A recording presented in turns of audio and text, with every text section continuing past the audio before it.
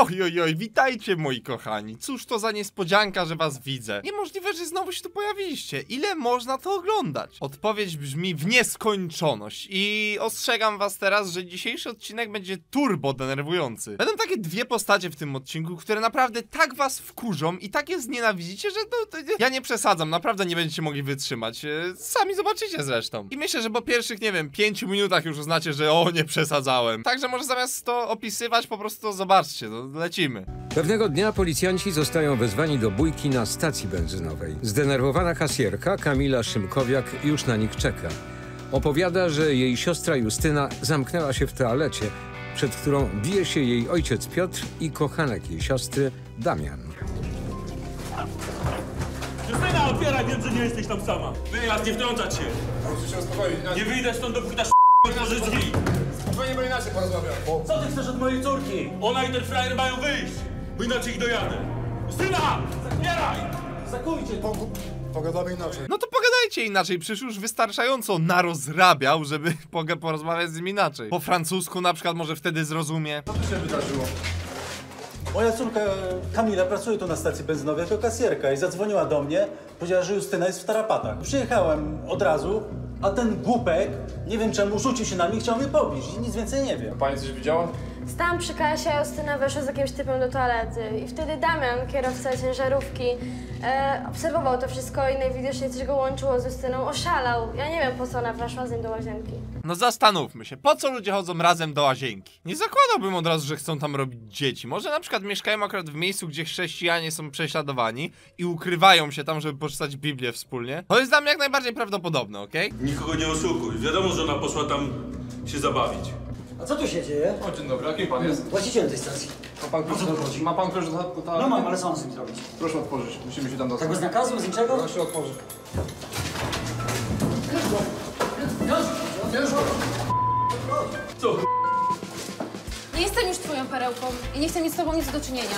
Ziom, ależ tak w kiblu na stacji? Dlaczego? Jest tyle lepszych miejsc do robienia dzieci, nawet pomijając łóżko, bo przecież kible na stacjach to są jedne z najbardziej obskurnych miejsc na naszej planecie. Ja myślę, że to dlatego, że kiedy strasz na stacji benzynowej, to już jesteś naprawdę zdesperowany, a wtedy dzieją się różne rzeczy.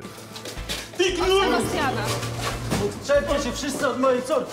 Od kiedy się rozwiodą, sam jestem z dziewczynami. I ciągle przysparzają mi kłopotów. I chodzą non-stop podirytowane. A miłe są tylko wtedy, kiedy potrzebują kasy. Godzinę później Piotr Szymkowiak i jego córki mogą już opuścić komisariat. Dziewczyny nie są zdenerwowane zaistniałą sytuacją. Bawi je przeprowadzone przesłuchanie, co wyprowadza ich ojca z równowagi. To są jakieś żarty? Zwariowałeś, co ty robisz? Stary, no co ty odwalasz? Przecież jak się nasi fani na TikToczku i Instagramie nie dowiedzą, że byliśmy na policji, to po co to robiliśmy w ogóle? No i teraz właśnie taka jest młodzież, nie? Za moich czasów wszyscy żyli po bożemu, wyznawali jakieś wartości, nie używali telefonów, a teraz coś takiego. Co, zabawiałaś się w toalecie dla brązoletki? Jak to jest możliwe? No dobra, mamo, Jak się- to długo trwa? Mam 18 lat, nie muszę ci się z niczego tłumaczyć. Ale jestem twoim ojcem. No miałabym jeszcze mamę, gdybyś tego nie zepsuł. Właśnie. To, że się rozstaliśmy z mamą, to była nasza wspólna decyzja. Nasze małżeństwo już od dawno nie istniało. Ja już mam dość tych rodzinnych stresów. Muszę wracać na, do pracy na stację, bo inaczej szef się wkurzy. Co będziemy robić ciekawego? Ja nie mam ochoty z tobą gadać. No dobra, akurat gadania nie miałam na myśli. Taki teatr za chwilę przyjemności. Jak ty mówisz Nie, do mojej dziękuję. córki? Nie odzywaj się do mnie nigdy więcej. Widzisz, to przez ciebie Sebastian ze mną zerwał. Ten facet nawet na ciebie nie zasługuje. Boże, jak ja to przeżyję? Nie wiem, nie mam pojęcia, może daj mi trochę pieniędzy i kupię sobie coś ładnego, to mi przejdzie. Jaka cudowna córka, daj mi trochę hajsu, to będę szczęśliwa. Tak się właśnie rozwiązuje problemy rodzinne. Ja, jakie terapie rodzinne, czy coś tam. Dajesz dziecku kasę i jest git. Dlatego właśnie bogate rodziny nigdy nie mają żadnych problemów. Tak jest, tak jest, no. Niestety, córeczko, ale musisz zacząć oszczędzać. Albo pójść do pracy, bo u mnie ostatnio z kasą cienko. Ale jeszcze dzisiaj ci dam. Nie wydaj na głupoty. Tano z pewnością wyda te pieniądze na encyklopedię i podręczniki do inżynierii rakietowej. Mam czasem wrażenie, że dziewczyny nie liczą się ze mną. Ale ja je kocham. I nie chcę im cały czas marudzić, bo to i tak nic nie da. Mój ojciec powinien się ode mnie odczepić, ale kasy nigdy nie jest za mało. Jeżeli uważa, że kruchą u niego z forsą, to powinien po prostu więcej pracować. Tyle. No ale wiesz, skoro ty potrzebujesz hajsu, to może też mogłabyś jakby, nie wiem, zacząć pracować na przykład? Mężczyzna pracuje w centrum ogrodniczym. Tutaj czeka na niego koleżanka z pracy i skrywana partnerka, Beata. się cieszę, że cię widzę. Miałem dzisiaj okropny dzień. Ale co się stało? Tak długo nie przyjeżdżałeś? Myślałam, że już cię nie będzie. A, to Miałem problem z córkami, szczególnie z Justyną. Ona tam z jakimiś facetami, coś, jakiś problem jest z nimi. Dzisiaj to wszystko się skumulowało. Ja już mam dość. Ale odkąd rozszedłeś się z, z, ze swoją żoną, ciągle są jakieś problemy z nimi. No zgadzam się, że to te córki są problemem, w sensie, no powinien się ich pozbyć. Albo im się postawić po prostu, bo one, te, to one totalnie go nie szanują. Stają się coraz gorsze. Ja nie wiem, nie masz dla siebie czasu w ogóle. Bez przerwy jest jakiś problem. A to, że nie ma pieniędzy, a to, że Justyna nie chodzi do pracy, albo jeszcze są jeszcze jakieś inne, nie wiem, rzeczy wychodzą. Nawet mieszkają u ciebie, bo jest im tak wygodnie. Nie masz tego dosyć, A co, mam je wyrzucić? Ty tego nie rozumiesz, bo nie masz dzieci. ale one są już dorosłe. Czas najwyższy, żebyś je przekonał do tego, żeby się wyprowadziły. Nigdy tego nie zrobię. Dlaczego? Jak się tak zachowują, to jak najbardziej powinieneś. Nie zasługują na żadne jego wsparcie. Mam wyrzuty sumienia po rozwodzie z żoną i myślę, że one się jeszcze z tym nie uporały. Ale twoja żona sama od ciebie odeszła i zostawiła cię z dziewczynami. I brakuje jej matki. I ja jestem za to odpowiedzialny, rozumiesz? Ja je kocham, to są moje córki. A mnie kochasz? Oczywiście, że cię kocham, inaczej bym nie był z tobą. Jakoś nie czuję się ani kochana, ani szanowana. Spotykamy się od sześciu miesięcy, a ty jeszcze nie raczyłeś powiedzieć o tym swoim córkom. No ale przecież wiesz, jakie są jego córki. Powiedzenie czegokolwiek tym złym kobietom, no może jest bardzo ryzykowne. Tylko dlatego, że powiadomiłaś ojca o całej, o całej tej kłótni z Damianem, zostałam teraz bez faceta, a było mi tak dobrze z Damianem i z Sebastianem. A co miałam stać i patrzeć, jak Damian kopie w drzwi od toalety? Kto wie, co by jeszcze zrobił? Musisz uważać, co robisz. Przecież nie jesteś jakimś kawałkiem mięsa dla tych facetów. Tak się składa, że najwyraźniej jest i jej to raczej nie przeszkadzało. I tak jak ostrzegałem, to jest bardzo dziwna rodzina. Kto wie, co jeszcze zrobił? A co jak się zaraz wścieknie? Bzdura. I tak mu się podobam. Przyszedł tu tylko dlatego, bo wiedział, że mnie tu spotka. Jest tylko trochę rozdrażniony. Coś jeszcze chcesz od Damiana? Z, Sebastian, z Sebastianem to koniec. Dał mi kosza, głupek. No i co, chcesz teraz wrócić do Damiana? Potrzebuję faceta z kasą. No jakby nie było. Zamknij się! Damian i Sebastian o tym wiedzą? Nie, zamknij się i nie gadaj o tym. Co tak szepczecie dziewczyny? Mówiłam tylko, jak jesteś słodki. A raczej twój portfel jest taki słodki. Okej, Damian może nie jest aż taki bogaty. No ale jak chciałam nową sukienkę albo coś innego, to zawsze mi kupował. To jest też od niego. Lepszy facet z mniejszą ilością pieniędzy niż żaden facet i zero pieniędzy. A wiesz co może być też super opcją? Pójście do pracy. Wtedy nie musisz żonglować facetami, żeby ci kupowali sukienki. Późnym popołudniem Piotr zaprosił swoją partnerkę do domu, ponieważ jego córki powiedziały, że idą na dyskotekę. No, ale mam nadzieję, że tym razem też nie zostawię po sobie śladów, żeby się nie zdradzić przed dziewczynami. Swoją drogą to mógłbyś już im o nas powiedzieć. W końcu nie robimy nic złego. Jak to nie? Przecież po tym jak zerwie z tobą kobieta, to już nigdy nie możesz spojrzeć nawet na żadną inną kobietę. Ludzie generalnie po rozwodach nie mają prawa do szczęśliwego związku. Takie, takie są zasady. Kochanie, powiem. Wkrótce. Bo teraz mam co innego na głowie. Teraz? Co takiego? Włosy. Ja już na przykład zapomniałem, jak to jest mieć włosy na głowie. Znaczy nie, no teraz mam, bo się wczoraj goliłem, więc teraz tak trochę odrastają, no ale wiecie o co chodzi. O Jezu, przewrócił się, mam nadzieję, że nic mu się nie stało. Ale lepiej niech pójdzie na prześwietlenie, no bo to mogło być ryzykowne. Boże, tato! Dziewczyny, co tu robicie? Przynioscie na jakieś balety. Żeby tam pójść potrzeba pieniędzy, daj nam. Powie, kim jest ta lalunia? Nie wasza sprawa i co to ma znaczyć daj nam? Nie wiem jak wy, ale zawsze jak byłem młodszy, to jak prosiłem o pieniądze rodziców, to byłem taki dosyć nieśmiały i się czułem głupio wtedy. W sensie wiecie, y, dacie mi piątaka na Bismarta do KFC, y, a one coś takiego robią? Daj mi? Po pierwsze, nie jestem żadną lalunią, tylko jestem dziewczyną waszego ojca i mam na imię Beata. Jezu, tato, w tym wieku robi się jeszcze takie rzeczy? Od tego wpada się chyba w jakieś choroby. Wstyd i to jeszcze z taką? Daj nam te pieniądze. Nie dawaj im pieniędzy i jakie choroby ma na myśli ona? To już prędzej Justyna coś złapie sypiając z różnorakimi facetami niż on z tą jedną kobietą. No chyba żartujesz, chcesz im dać pieniądze po tym, jak fatalnie się zachowały? A czemu się wtrącasz? Słuchaj, jesteś tak bezczelna, że nie mogę na ciebie patrzeć. Jedna i druga, idźcie tam, gdzie miałyście iść, w tej chwili. Ale po co się mieszasz? Nie jesteś naszą matką. Już! Chodź, Kamila. E, dziewczyny, przyjechać po was później? Miało nie być przecież. Zachowanie dziewczyn było mocno nieodpowiednie. A Beata też nie powinna była się do nich tak odnosić. Była zbyt surowa. Nie, nie była, to ty po prostu masz w sobie zero asertywności. Na szczęście jest ktoś w tym związku, kto ma jaja i mam nadzieję, że razem pokonają Justynę i Kamilę. Jakie to było żenujące wiedzieć ojca z tą lalunią. Możesz nie jeść tylu niezdrowych rzeczy? Właśnie macie zamiar pić alkohol, to jest dopiero niezdrowe. W takim razie musimy ogarnąć faceta, który postawi nam drinki. No tak, to przecież jest oczywiste, każdy by tak zrobił. Na szczęście mamy tutaj ekspertkę w zdobywaniu pieniędzy od mężczyzn. Ja już to zrobię. Nie chodziło o nią, ale ciekawe co się stanie. Widzę, że masz dużo super napojów. Może chciałbyś coś dać dla mnie i dla mojej siostry? Dlaczego miałbym to zrobić? No wiesz, bo jesteś miły, a ja i moja siostra chciałbyśmy się czegoś napić.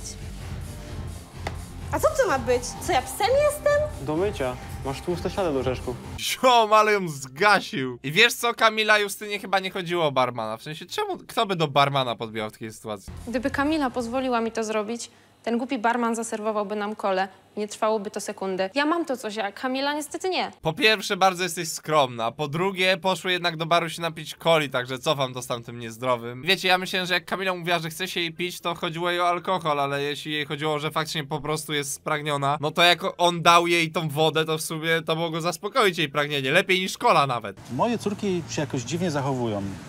Od wczoraj, kiedy je wyrzuciłaś, próbowałem się z nimi kilkakrotnie skontaktować i Kamila tylko na chwilę odebrała i powiedziała odbierz nas po pracy ze stacji benzynowej. Będę ja i Justyna.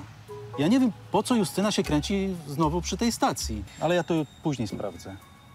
Ale słuchaj, czy one nie mogą same do domu wrócić? Co ty jesteś taksówka? Znowu się angażujesz. Oj, no angażuję się, ale to dlatego, że wiesz, matka nas opuściła i wiesz, one to przeżywają. Pepe. Justyna i Kamila nie powinny mieć wstępu do tego domu, dopóki nie zmienią swojego zachowania. One cię wykorzystują, a ty im na to pozwalasz. Jak było wczoraj?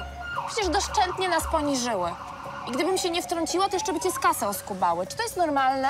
Inaczej byś mówiła, jakbyś miała swoje dzieci. Wiesz co, pewnie nie. Wiesz dlaczego? Bo to nie jest tak, że większość rodziców nie ma w sobie asertywności. Myślę, że większość z was, kiedy powiedziałem o tym proszeniu o pieniądze, to, to pewnie mieliście takie relatable, slay queen. Nie no, co ja mówię. Po prostu pewnie też tak mieliście. Odbierz mnie, Damian nie zabije? Ten Damian chce coś zrobić mojej córce. Pewnie się chce zemścić po wczorajszej sytuacji. Muszę jechać. Ja po prostu chcę być dobrym ojcem. A moje córki mnie potrzebują. Wiem, że muszę stanąć na własnych nogach, ale jeżeli one potrzebują jeszcze więcej czasu, to ja im go dam. No i w ten sposób stworzysz dwie osoby, które totalnie nie potrafią o siebie zadbać. I szczególnie Justyna już zawsze będzie zależna od tego, czy jakiś facet daje pieniądze. Po SMS-ie od córki zatroskany Piotr Szymkowiak poinformował o wszystkim policję. Jest zrozpaczony i szuka osiemnastolatki na stacji benzynowej. Co tu się do cholery? Co ty robisz, gościu? Zostaw mnie, kurde! Proszę zejść z tego samochodu.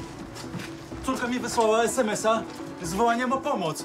Ten typ jest znowu grozi, ona bała się o własne życie. Co to odpierdzielasz? Pisz coś ze mnie? Nie wiem, o czym mówisz. Odbierz mnie, Damian nie zabije. A potem wysłałam ci drugiego SMS-a.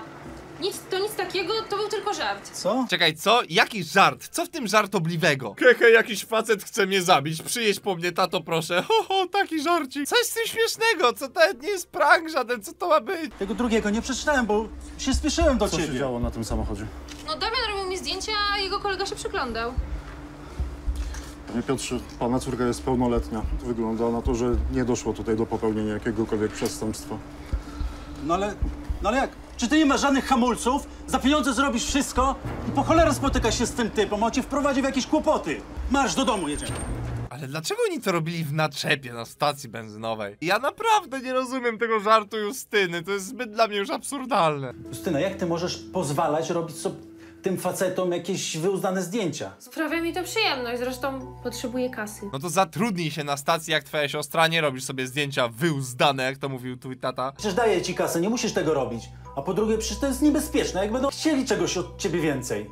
Ale ja nie zrobiłam nic, czego bym potem żałowała. Zresztą jeżeli faceci są na tyle głupi, że za kilka zdjęć chcieli mi zapłacić 500 zł, to chyba to jest dobry biznes, prawda? Dobry biznes to jest obrzydliwy biznes. Masz mi obiecać, że więcej tego nie zrobisz. Obrzydliwe? Ty jesteś obrzydliwy.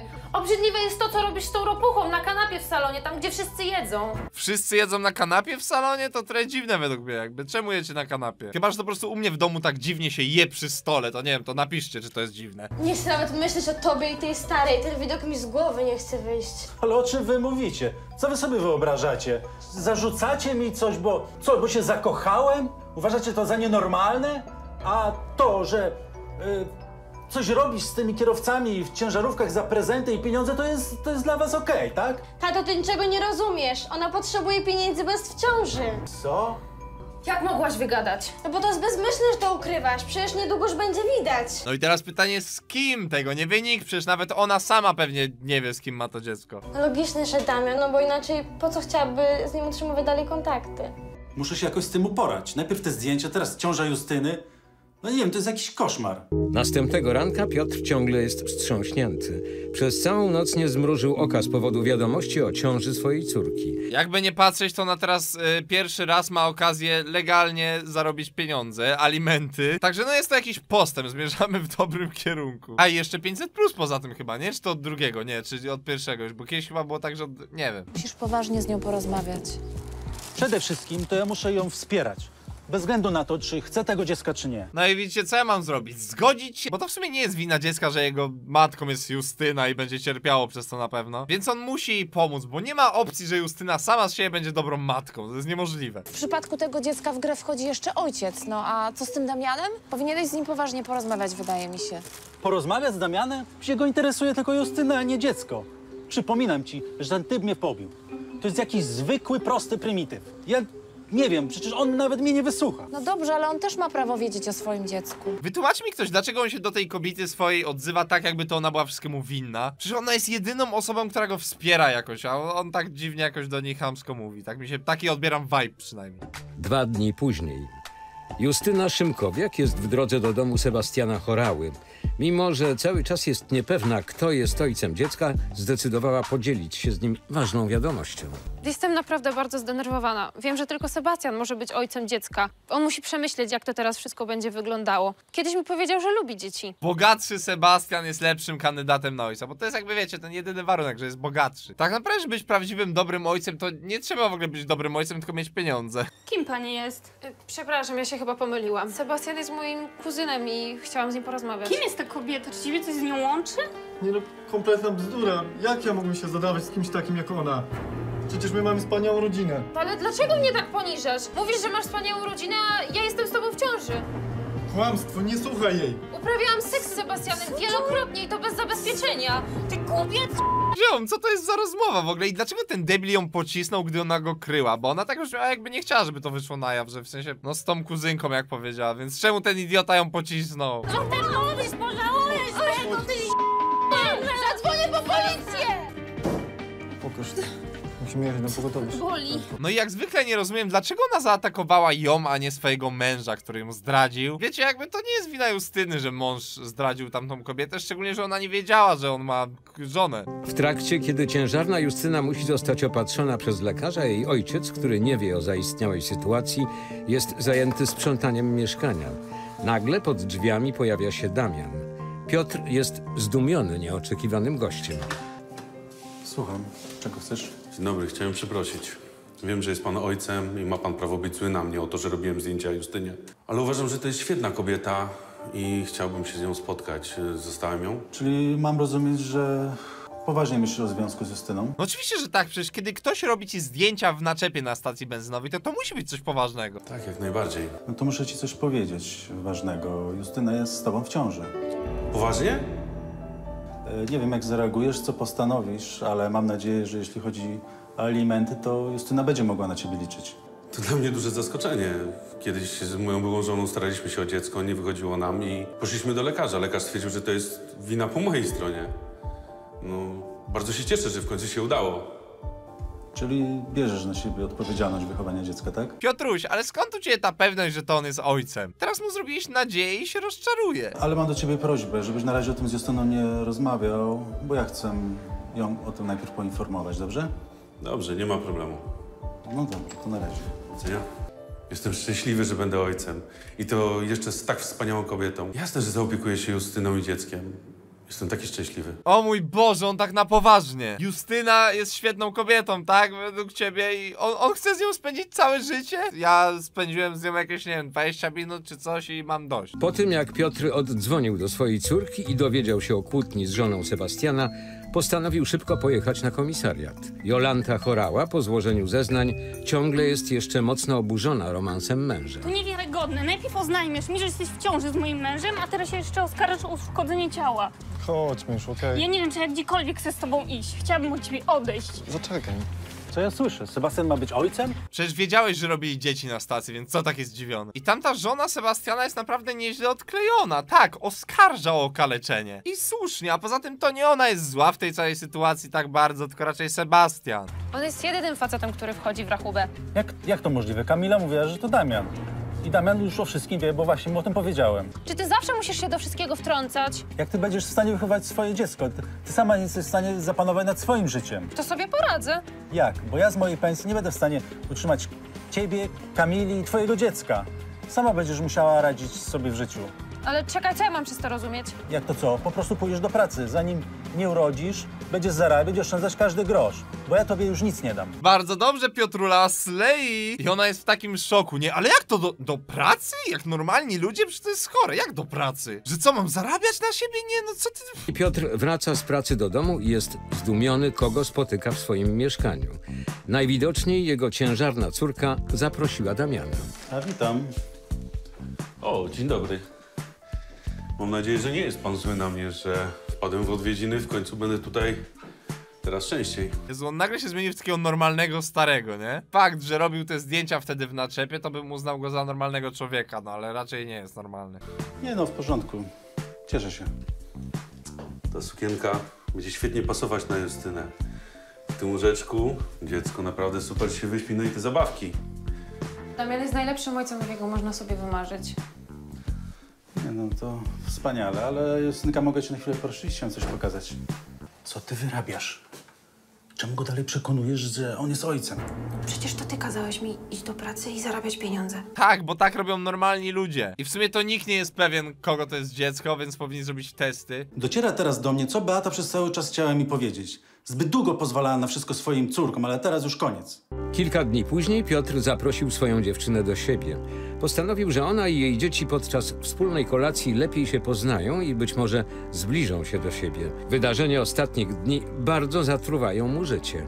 Mam nadzieję, że ci dziewczyny zachowają się kulturalnie będziemy mogli spokojnie porozmawiać. Ja z pewnością, no bez obrazy, ale twoje córki są mega tępe. I w sumie jeśli ich matka też taka była, to cudownie, że cię zostawiła, jakby wyświadczyła ci przysługę. Chociaż w gruncie rzeczy to jest moja wina, że nasz związek ukrywałem przez tak długi czas. No i mam myśli w głowie.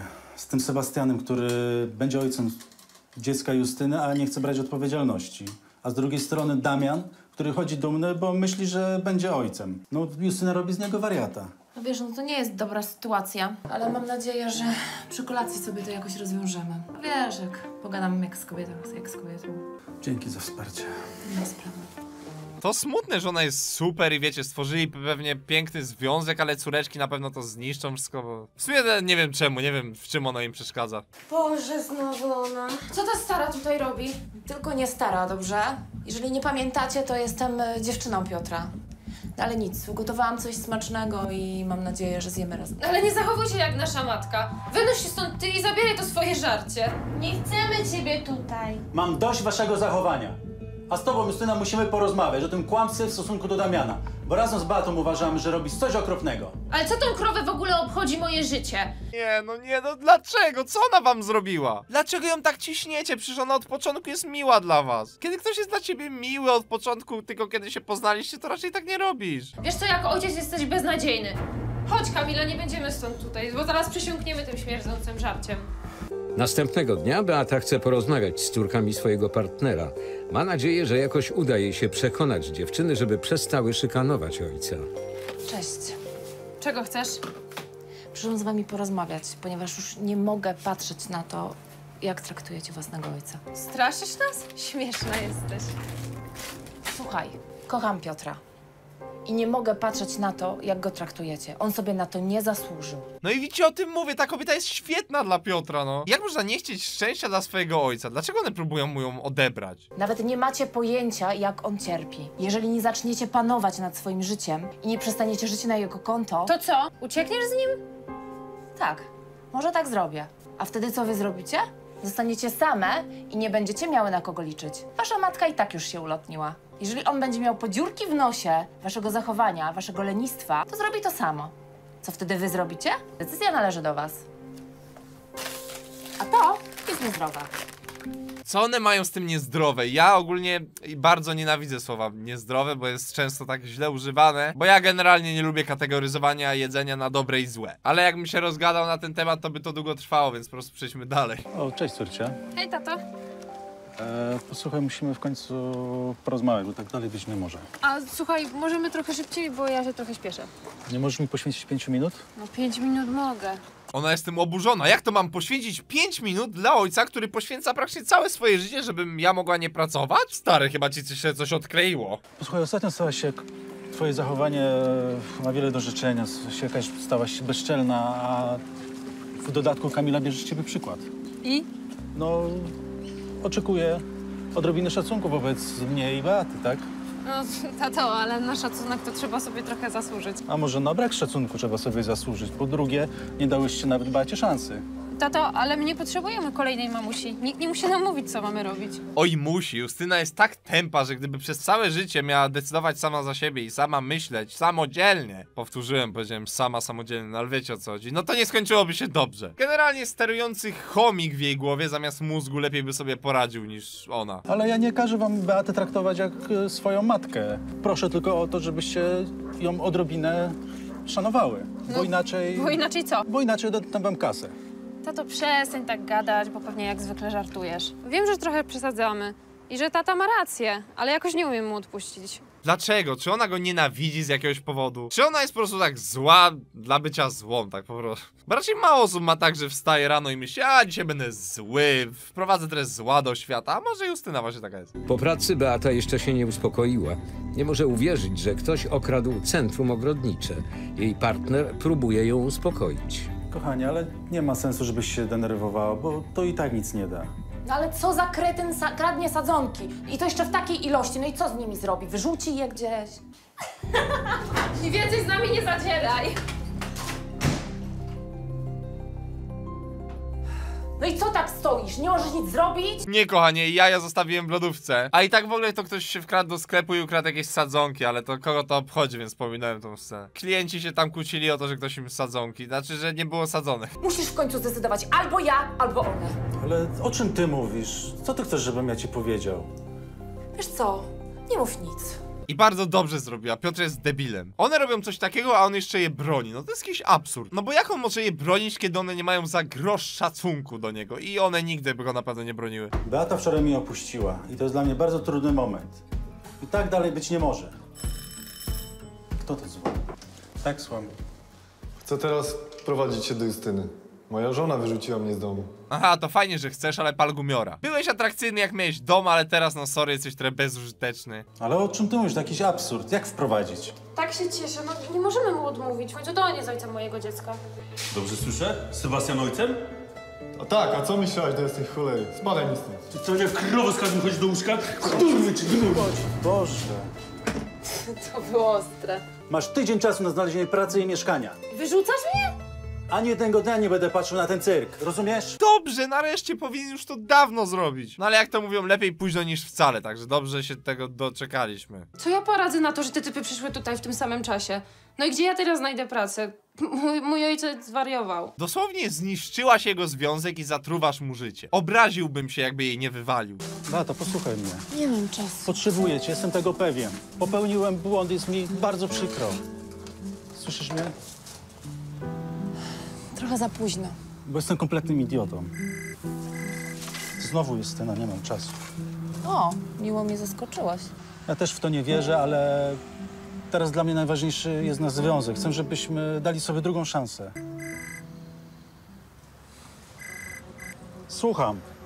Nie interesuje mnie. Ciekawe o co chodzi, może teraz weszła do jakiejś naczepy i ją wywiózł ktoś do Rumunii na przykład za 500? No trudno, niech sobie sama radzi, nie? Niech się sama uwolni i przybiegnie tutaj z Rumunii. Znowu chce mnie oszukać, wykorzystać. Ale ja już się nie da. Musi zrozumieć, że w jej wieku musi sobie sama radzić w różnych sytuacjach. Słuchaj, jak ona tak dzwoni, to może odbierz, może to coś ważnego. Nie, to pewnie jest jakiś nowy trik. Na pewno chce mnie znowu owinąć wokół palca. A ona musi dorosnąć, musi wiedzieć, że w takich sytuacjach musi sobie sama radzić. Ona już przekracza granicę, ale w wieku 18 lat powinna sobie jakoś poradzić, nie? Co za problem wrócić z Rumunii do Polski?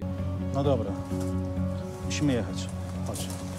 Pewnie, jedźmy. Naszego szefa w ogóle nie będzie obchodziło to, dlaczego randomowo znikamy z pracy. Kilka minut później zatroskany ojciec Piotr Szymkowiak i jego partnerka są już na stacji benzynowej. Tutaj ma miejsce awantura. Najwidoczniej kierowca ciężarówki Damian Białek zamknął Justynę w swojej ciężarówce. Co tu się dzieje? Stój tu! Co wy tu? Czuję się jak debil. Powiedziała, że jest ze mną w ciąży, będę ojcem. Tak się cieszyłem i co? Zabieram się stąd. Jadę z nią. Ale to i tak nie jest twoje dziecko, rozumiesz? Ciekawe, czy po tej akcji córki odzyskają szacunek do ojca. A nawet jeśli nie, to trudno, bo w sumie Justyna i tak została wygnana, więc dobrze. Nie interesuje mnie to. Mam go! Trzymajcie! Mam go, chuj go! Stoisz, nie ruszasz się! Pani przykro, cieszę się, że tu jest. Jeszcze nigdy w życiu się tak nie bałam, jak w tej ciężarówce. Na szczęście tata z Beatą mnie uratowali. Dobrze, że posłuchałem Beaty i odebrałem ten telefon od Justyny, bo inaczej nie wiem, co by się stało. Ja też nie wiem, ale to nic nie zmienia. Nadal ich nienawidzę. To, że ją porwano nie sprawia, że nagle wymarzymy 40 minut wkurzania. 10 miesięcy później Justyna jest szczęśliwą mamą. Siostry przeprosiły za kradzież sadzonek, a skarga na nie została wycofana. Dzisiaj jest szczególny dzień. Rodzina chce pożegnać Kamilę. Cieszę się, że jadę na ten ur- urlop do Hiszpanii. Jak wrócę, to wreszcie czeka mnie szkoła fryzjerska. Nie wiem, co leci w telewizji, ale dobry wąs się tam ukazał. I szkoła fryzjerska, bra, po, po co? Po co w ogóle istnieją fryzjerzy, nie? Jakby wszyscy nie mogli być łysi. Pięknie. Będę za tobą tęsknić. Ja za wami też. Zasłużyłaś sobie na ten urlop. Długo, bardzo długo na niego oszczędzałaś. Dziękuję wam naprawdę za wszystko. Głównie za to, że wybaczyłaś wszystkie moje błędy. Nie lubiłyśmy cię, ale jesteś naprawdę fajna. Teraz to wiemy. Zdarza się, chodźcie. I uważaj tam na siebie i dzwoń do nas jak najczęściej. To ile telefonu nie zostawiłaś? na pewno. Wszystko będę miała, będę dzwoniła. Dlaczego oni zawsze są takimi dobrymi ludźmi i wybaczają? No przecież Justyna to jest zło wcielone. Jak można jej tak, o, wybaczy? Moje córki w końcu sobie radzą. Mam zdrowego wnuka. Jestem najszczęśliwszym człowiekiem na świecie.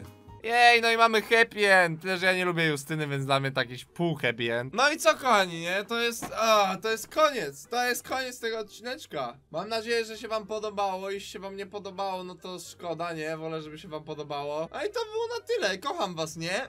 Mua, Eluwinka.